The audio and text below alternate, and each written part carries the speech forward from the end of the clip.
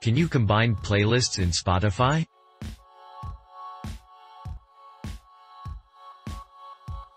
Desktop Spotify app can be used to combine the Spotify playlist.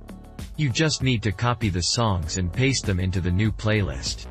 Simply select the playlists and paste them to combine. Thanks for watching.